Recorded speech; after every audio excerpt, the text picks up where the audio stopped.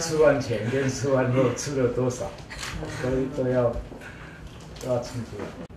阮爸爸讲我陪伊看电视，爸爸讲我讲好，讲唔好啦，讲伊哦，你身体不好，但是最终是突破世界纪录，这么简单。现场看一下，那个都会长茧。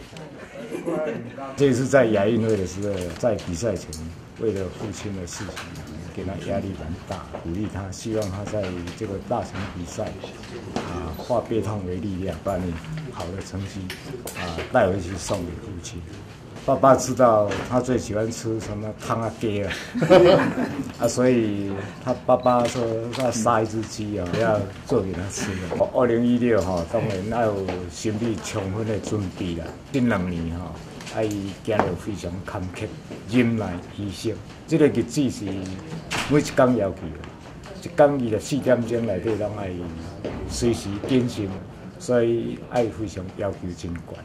因为这个是看是表现，但咱的内脏加力量的累积是渐进。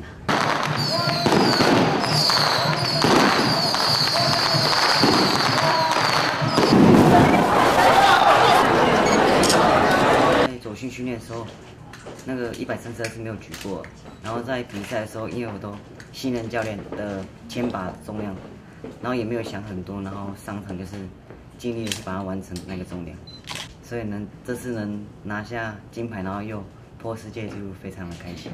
因为赛前三个礼拜吧就已经去开刀了，然后我就每个礼拜就是在假日、礼拜日的时候，就来来回坐高铁到彰化去看他，然后对啊，他就叫我放心啊，然后叫我尽力去比赛。所以你得的冠军是给爸爸最好的一个对啊，就是送给他最好的礼物，然后希望身体快点恢复健康这样子。